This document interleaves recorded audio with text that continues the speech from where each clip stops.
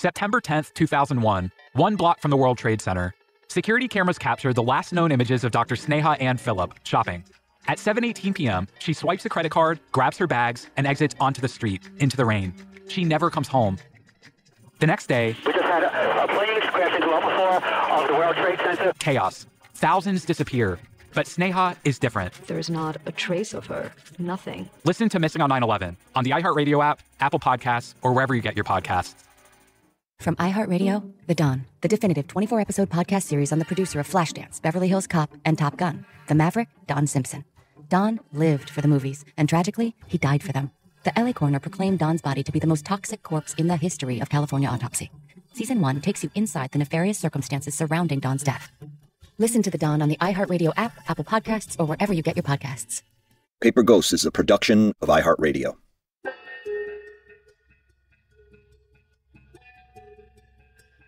My search for information in the missing girls cases, along with the now confirmed murder of Susan LaRosa, is producing more results than it ever has in previous years. All of the cases have become like the five points of a star. No matter how I draw it, each point directs me right back to one of the others. And no matter how much I try to rule him out, each point draws a dotted line back to Bob LaRosa. The station wagon he drove that suddenly disappeared. The khaki shirt and pants uniform he always wore. His affinity for young girls.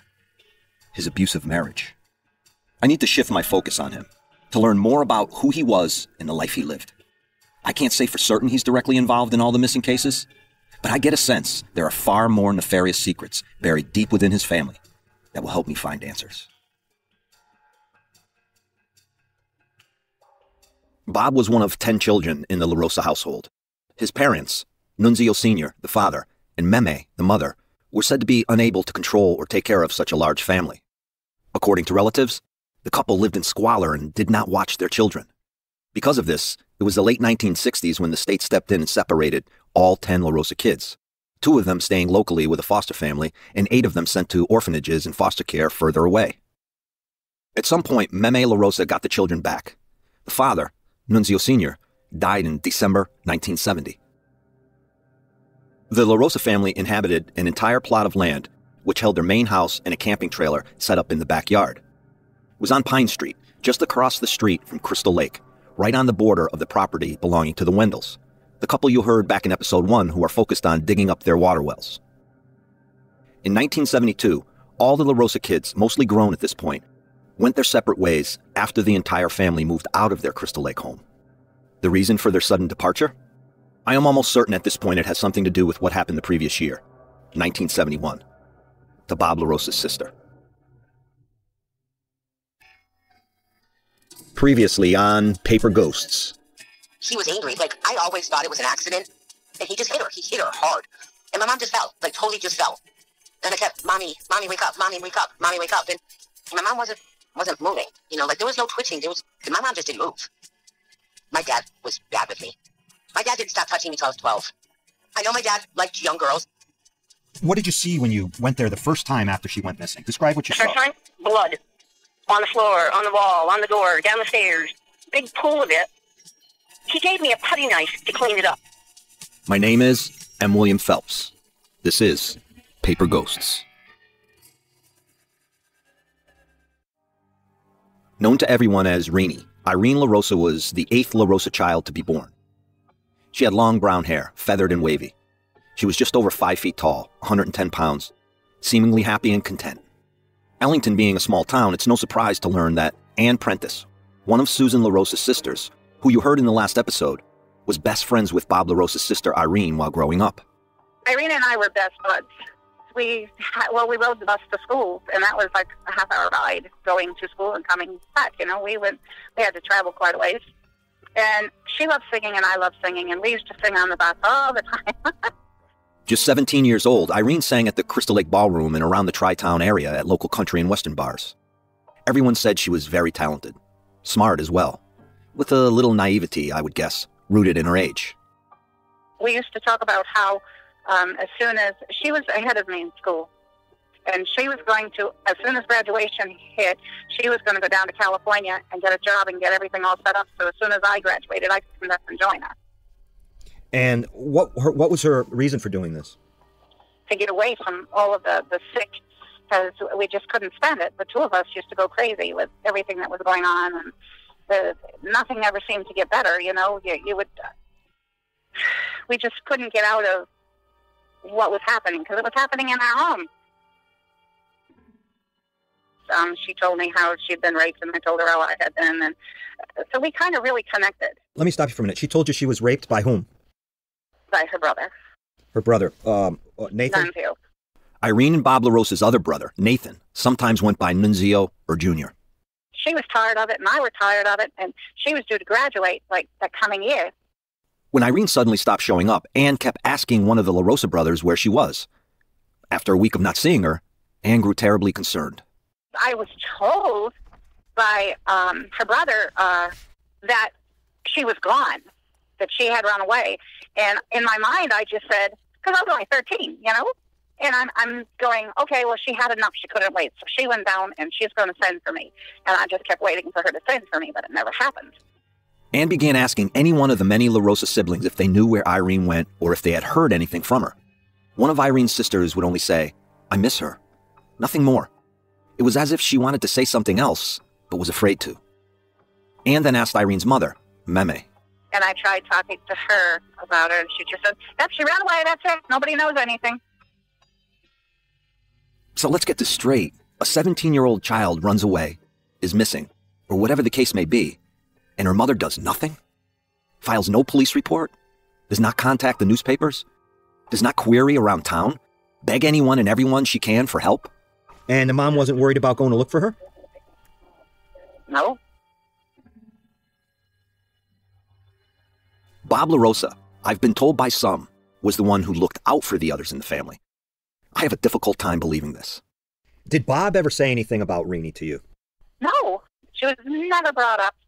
Ever. It's like she dropped off the face of the earth. And if you tried to say anything to them about her, they didn't like that. Here's the thing I know siblings of missing people. I have interviewed family members of the missing all over this country. I mean, look at Janice Pockett's sister, Lisa White's, Susan LaRosa's, all of whom you've heard in previous episodes. I have never, ever met one sibling of a missing person who was not consumed with the idea of doing anything he or she could to find that person. There seem to be things here within Irene's disappearance that are being kept hidden, buried secrets beyond the incestuous behavior I need to uncover. So I dig deeper, start asking my law enforcement and LaRosa family contacts questions, and I learned that Irene LaRosa's disappearance was reported by a family member in 2016, 45 years after she was last heard from or seen. Turns out, Irene LaRosa is the missing girl the state police are searching for on the Wendell property across the street from Crystal Lake. Recently, at the Wendell's property, the police were acting on a tip that a body was buried in the area. I'm still trying to find out more about that tip. Most importantly, who left it. For now, however, I've found the person who filed Irene's missing person report all these years later. Good morning. Good morning. Holy cow, it's still overgrown. Tina LaRosa is Irene Renee LaRosa's niece, and in 2016, it was Tina who filed the missing person report on her aunt. As luck would have it, I was connected to Tina through Mary Engelbrecht, the sister of Janice Pockett, who you heard in episode 1. The two initially met online and sparked up a friendship after bonding through similar tragedies. Since filing the report, Tina has been obsessed with pushing police to look at Irene LaRosa's case. But up until now, she's not heard much from them. Tina is a former hospice worker in her late 40s, living in Massachusetts. She has a presence about her, a determination. She's been on a crusade, very vocal and critical of state police's handling of her aunt's case, all of which she airs on Facebook. I have to be careful with Tina, and I've discussed my concerns with her because she tends to publish certain sensitive information on social media. Part of it is the pain of loss, part of it, the idea of not knowing. I get it. Not everyone appreciates Tina's way of doing things, but I'm interested in information, not optics. Tina and I met on a humid July day across the street from Crystal Lake, in the area where the LaRosa family lived. pine tree. This is the only thing that still exists from their house. Is that big pine tree right there? The house she's talking about is the former the LaRosa property. It's still there from like the the bricks from where the foundation sat from the old house. Right here in all these bushes over here is where Nathan's camper would have sat, and it would have sat against the road, so the door would have been facing towards the wood. I have not been able to find any law enforcement paper trail connected to Irene LaRosa's disappearance. I've asked all my sources. Nobody seems to know much about the case. When you told the police about this, because you filed a missing person report, Yeah. and what did they tell you when you filed it? They didn't tell me much. They weren't very helpful. Um, Were they interested? no. In 1985, 14 years after Irene LaRosa disappeared, the Hartford Courant wrote about it. That article reported that Irene left home when she was 15, returning for short periods of time and then leaving again, and that she was seeing a man named Bob who was a teacher and lived in a nearby town. He was nine years her senior. And then this. Friends told one of her sisters that Irene had a son. Her sister, however, was unable to confirm it. A source who married into the LaRosa family has told me after Irene went missing, there was talk that she was living 90 minutes south in Fairfield County, Connecticut, and had a son. I have trouble believing this. I had my private investigator look into it. He found nothing. Law enforcement could not verify the information. So you have the, and I'm going to say this kind of rudely, the more intelligent ones saying, "Oh, she's missing," and then you have kind of the, the ones over here that are saying, "She's been, we've seen her, we've heard from her." Irene could still be alive. She was a child, just 17 in 1971. If all I've heard about her being abused by her brother Nathan is true, there was just cause and very good reason for her to leave on her own. The article that I had the other day was about my aunt Vicky on how she disappeared at the age of 17, and my meme search, took the search dogs out after her, went to court. You know what I mean? She was 17 years old, and my meme went hell and furious on her. It was in 1966, and one of Irene's older sisters, Vicky, also went missing. Their mother, Meme, sent out the troops when Vicky vanished, reaching out to reporters and not stopping until Vicky was found not long after. Apparently, she tried to skip town because of some trouble she'd gotten into. But when Renee a couple years later goes, nothing. According to Tina, there were no reporters, no search parties, no one concerned about Irene's disappearance. It was as if Irene never existed in the first place.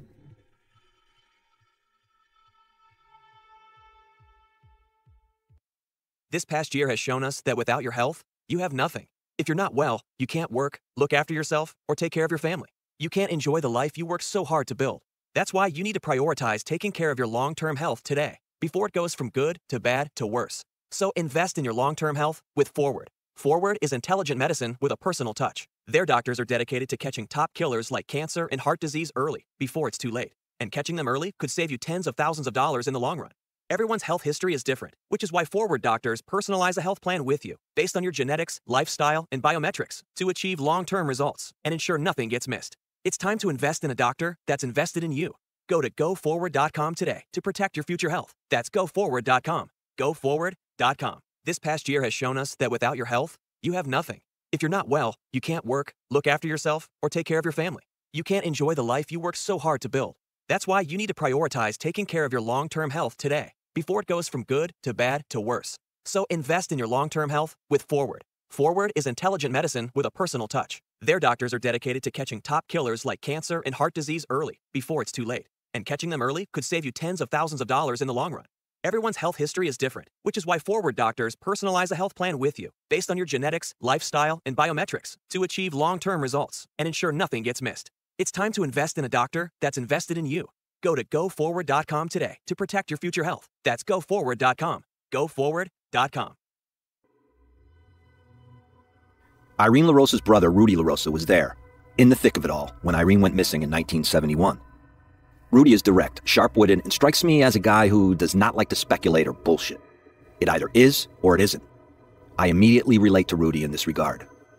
In recent years, when his daughter Tina began her own investigation into her aunt's disappearance, Rudy stepped up and, however begrudgingly, decided to answer Tina's tough questions about the LaRosa family history the good, the bad, and the very ugly.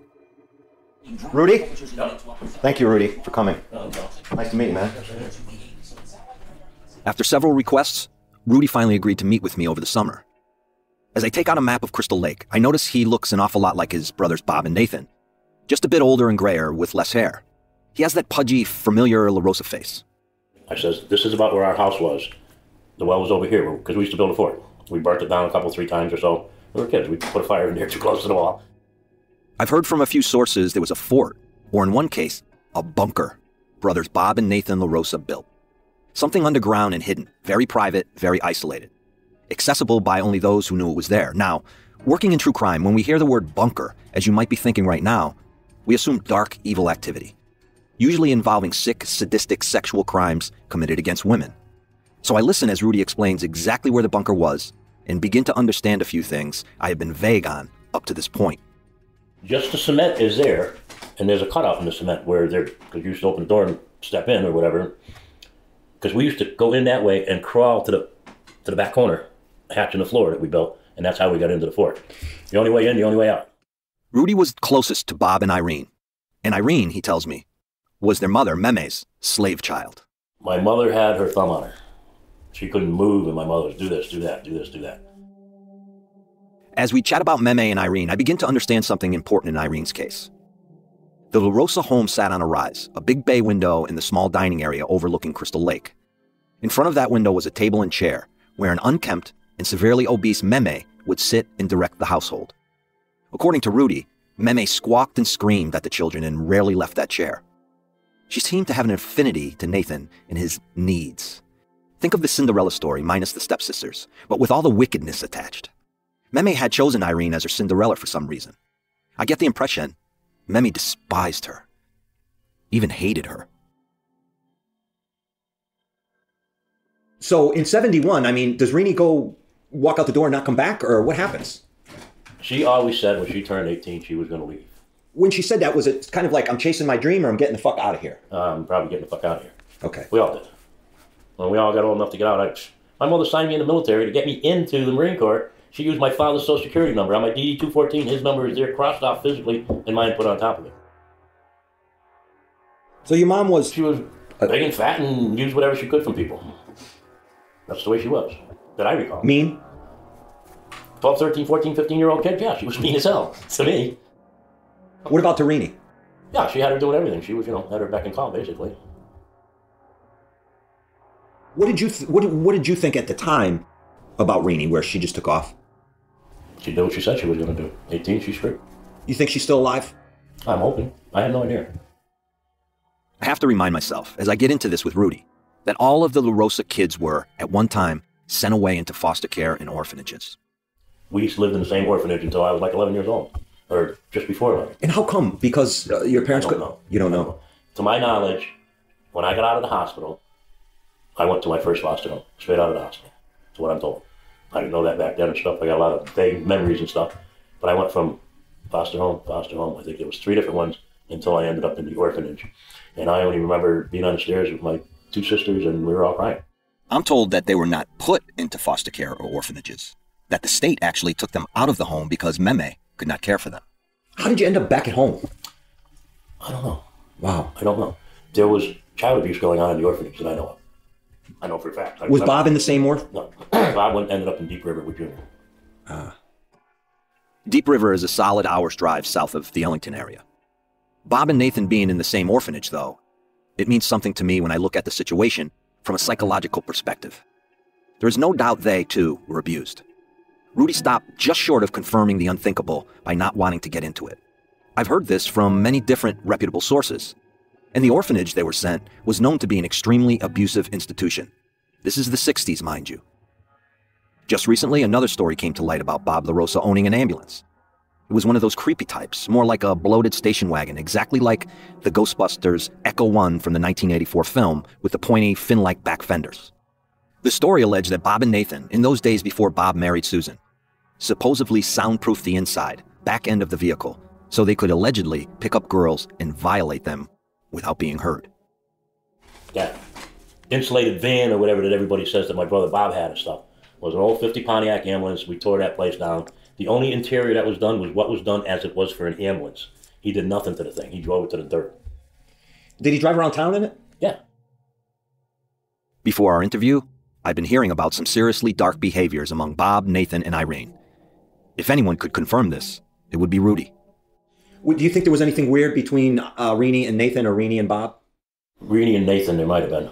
Yeah. I wouldn't include Bob at all because he was off with his buddies and whatever. Rudy could not recall with any certainty what Bob was doing at the time, mainly because they rarely saw each other. Rudy had once pummeled Bob over a dispute. They were teens. Bob, however, realized Rudy was tougher and was not going to take any shit, so he stayed away after that. Nathan, on the other hand, didn't. Rudy tells me about a time when he was with his wife and Nathan one day. But I remember I, I got out for something We stopped at a car wash because his car was filthy from sitting under the tree. He hadn't had it that long. And I don't remember, there was some conversation that he was talking to my wife. And I'm sure he was putting a move because she said that he made a pass like that he wanted to run me over or something like that. He would do that for her if she wanted it and stuff. Wow. So he was um, a little nuts in the head. Did, was, was he creepy? He was always creepy. my mother sicked him on me one time because I wouldn't do what she wanted and I beat him up. And then she sicked my brother Bob on me one time and I beat him up. But I was, you know, 13, 14 years old. If my sister was to have gotten hurt, which I don't know one way or another, hopefully it didn't happen that way, but if anybody was to have done something, I'd have blamed Junior before I'd have blamed Bob. By Junior, Rudy is referring to Nathan.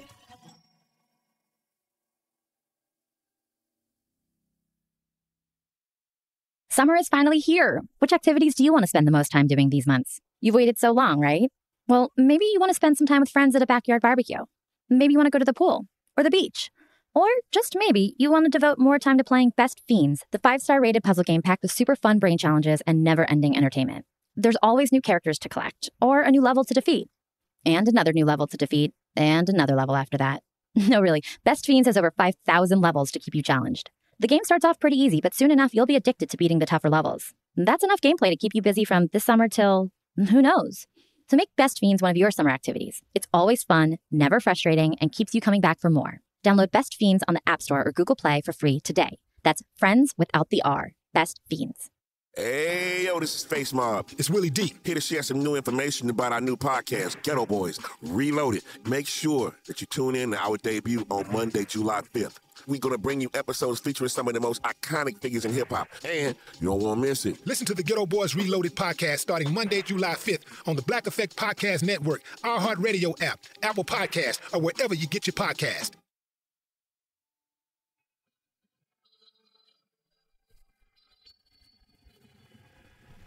In a quarter of a mile. The destination is on your right. The answers in Irene Rini LaRosa's disappearance and perhaps some of the other cases I'm looking into seem tied in some way to the LaRosa family history. Arrived. I'm back paying a visit to Tina LaRosa, the niece of Irene LaRosa who filed the missing persons report. Hi. Inside her raised ranch style home, Tina's dining room table has become her office. Papers and notes about all the cases spread about. Nice place you got here, out here. Oh, thank you. Tina, like some of the relatives of the missing girls, has turned herself into an armchair investigator. As we chat, a name so familiar to me comes up. Lisa White, there's a, quite a few people that kind of connect her, saying that he was kind of obsessed with Lisa White. Nathan was. They lived on, um, before they moved to Pine Street in Ellington, they lived on uh, Regan Road over in Vernon. Um, and so did Lisa White. She lived a couple houses down from them. Lisa White is the 13 year old girl who went missing as she presumably hitchhiked home after visiting a friend's house in 1974. She lived on Reagan Road, true, but the fact that Nathan LaRosa also lived on Reagan Road at the time is a connection too important to ignore. Nathan was always known to be kind of at the back of the house, kind of staring at the kids playing, Lisa being one of them. Um, my Aunt Debbie gives a report of Lisa coming to the house when her dog got hit by a car. Her dog got hit, Lisa came to the house, said, You know, here's your dog. Tina claims Nathan had a thing for Lisa, and it kicked into high gear after Lisa brought the dog over to the house. Well, since then, Nathan was like obsessed with her, would always watch her. Nathan grew into an obese man. He rarely showered or cleaned himself. A convicted pedophile, Nathan did hard time from 1976 to 1979 for child rape. In 1980, Nathan moved to Florida to live with his parents. He came back to the Tri Town area in 1995 and moved in with his brother, Bob LaRosa, and died three years later while living in an elderly home. When I first met Tina, I knew she'd have a lot of information regarding unanswered questions within the LaRosa family tragedies. I just didn't realize how much she knew. For years, Tina's talked to family members, reached out to acquaintances, went online and started a shitstorm of social media about her Aunt Irene's disappearance. After sharing her plans to file a missing person report in a Facebook post in 2017, the year before Bob died, she got a message from Bob LaRosa's Facebook account. Well, I can start by this one. This is um, August 11, 2015. I was one of the per- people that filed uh, official police report. Those comments saying none were filed were woefully incorrect. Listening to you read those texts, I wouldn't say Bob was stupid. He uses words in there that I um, wouldn't say this is Bob. uh, I see was Bob's picture. You can see Bob's picture in here. I was thinking the same thing. This is not Bob. You know why? Because we're all a little dyslexic, the LaRosas. So Bob, or as Tina suspects, someone else who was writing the message for Bob, was still trying to deflect attention away from Irene's disappearance, decades after she allegedly vanished. I have to wonder why? What's more, I've searched hell and high water. Bob LaRosa never filed a missing person report on his sister. That is a fact. Tina's always been aware of her family's dark horses and hidden secrets, but things took a serious turn in recent years when she started connecting them to her Aunt Irene's disappearance. There she was, stealthily connecting the dots, and ultimately, zeroing in on a family friend who, after almost 50 years, has decided to inject himself into these cases and start talking. Tina brings up a difficult story she learned from someone close to this person, one that also involves her uncle, Bob LaRosa. She says to me, Well, Bobby was a dangerous man, that when they were younger, they, for just ha ha's, they found a girl and picked her up. She was walking down the side of the road. They stuck a light pole up her rear end and propped her on the sidewalk. Tina called the state police and told them about this incident. She also spoke to several family members who verified the story. A newspaper report backs up certain details, including the abduction and the girl being left on the side of the road. She was brutally wounded and ultimately died from her injuries, turning the assault into a murder case. I'm not going to mention the other man's name yet because I'm in the process of reaching out to him. He deserves that privacy. For now, I'll be referring to him as the witness. Bob LaRosa and the witness were best friends. They'd known each other since grade school. At one time, they were even brothers in law. Tina tells me she decided to make contact with the witness in 2018, years after filing the missing person report and becoming frustrated nothing was being done. So I decided to call him and play the little dan- damsel in distress. And, you know, my aunt, and I miss her, and I, you know, I can't believe that nobody cares. And oh, I your aunt. Rini was wonderful. I dated her for a time. Okay. um, you know, her and Nathan had this weird thing, and I think Nathan was hurting her, and I was like, okay. But so we had gotten talking, and I was asking about um, Nathan and Bob hurting her, um, and if they did, where would they put her, hypothetically. Tina's spoken to the witness on four different occasions. Those first few calls, they talked a lot about Irene LaRosa, who she was, and the relationship between them. Then there came a point, as she was talking to the witness, when Tina realized he had vital information.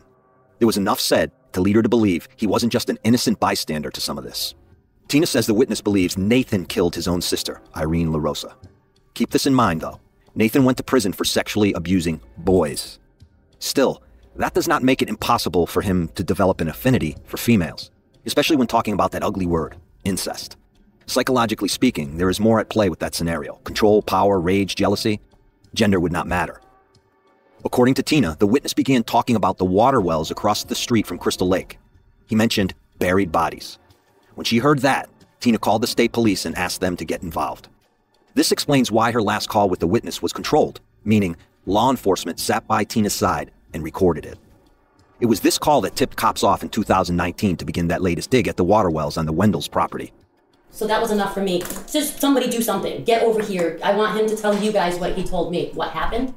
Told you where what? Where they would have been, the girls would have been. If, hypothetically, if Nathan hurt them and put them somewhere, where would they be? And he said, well, our fort was right here. That's girls, plural. According to the witness, Irene LaRosa and several of the other missing girls are buried in an area across from Crystal Lake, somewhere on or nearby the old LaRosa property.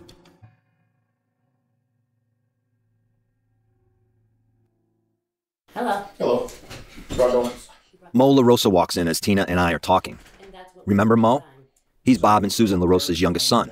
He and Tina are cousins. As he takes a seat across the dining table from me, Tina says something about a well on the Wendell's property. Sorry, I'm just explaining to him about the first time we talked. But then when I put him on recording with the cops, he then said, no, it's the A-framed well up here. The witness had mentioned an A frame, green colored roof during his last call with Tina. On the Wendell property, there are over a dozen water wells scattered about 46 acres. One of them is a 15 foot deep, 8 by 8 foot well, think Jack and Jill type, with an A framed, green colored roof covering it. This is across the road from where the state police once dug. So, claim that the girls were put in the A-framed well. Yes, he explained how to take a bar, open up the well, and then slide it back. And we have that on recording. When Ken Wendell was tipped off by the cops many years ago, he actually sent an underwater camera down that A frame well. He searched the entire thing, and found nothing. What worries me after spending 20 years in the true crime game is that if a person of interest is talking about wells, a crime scene, bodies being buried, as the witness has apparently been doing, my instinct and experience tell me these clues are a diversion, that there are no bodies in wells. The bodies are somewhere else and the witness is throwing off the scent. Yet, why the hell would he involve himself, all these years later, to begin with? But back to the, the wells where, we, where we've been to that property, and we did a memorial there on a tree. As it turns out, Mo and Tina are responsible for that mystery flower memorial that Ken Wendell mentioned seeing during one of my last visits to the property. It's the same spot where they believe their Aunt Irene LaRosa and some of the other girls could be buried, according to what the witness has been saying. So I find it, you know what I mean, very hard to believe they had never done anything to her, and yet one couldn't have known where she was, why the other one didn't. All this information from Tina and Mo leads me directly into the center of that five point star. Getting to this point in my investigation isn't as easy as it sounds. It has been a long and emotionally exhausting 11 year journey. I've run into dozens of false leads and dead ends. All the suspects frequently named online and the ones I've developed on my own have been eliminated for a variety of reasons. Many of them police have checked out, questioned, and let go of. It wasn't until the witness began talking to Tina, on top of all I've learned over the past year, that the pieces of this disturbing puzzle I've been collecting finally seem to fit. I'm not 100% confident Bob and Nathan LaRosa are connected to all the cases, but there's enough for me to continue looking into that possibility. The witness is the only one of the three men I am now focused on who is still alive. I want to reach out to him, but it has to be under my terms.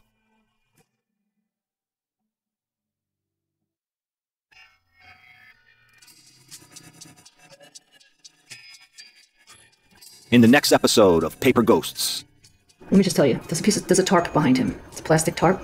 And they thought that was interesting. The yeah, dark- oh yeah, they held it up and they were they all they all came over and had to look at it and then Had stain, a lot of brown stains on it. They were wondering if it was blood or something on there, but He went home to take a shower while I was getting her stuff ready, and he come out completely naked and said, "You want to have a good time? Come on in the bedroom."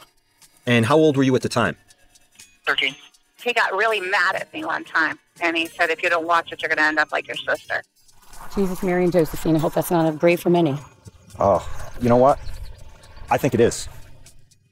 Paper Ghosts is written and executive produced by me, M. William Phelps, with help from producer Christina Everett and sound editing by Pete Cardy from Backroom Audio. A special thanks to Abu Safar and Will Pearson from iHeartRadio. The series theme, number 442, is written and performed by Tom Mooney and Thomas Phelps. For more podcasts from iHeartRadio, visit the iHeartRadio app, Apple Podcasts, or wherever you listen to your favorite shows.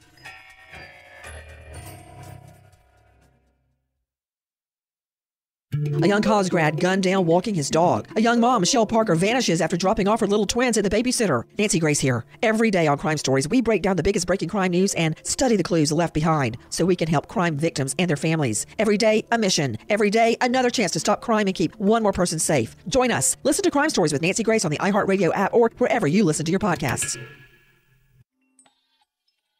Power in the 21st century. Who has it? How are they using it? And how is it impacting our lives? This is the Recount Daily Pod, where we'll explore the intersection of power, business, technology, culture, and yes, politics too.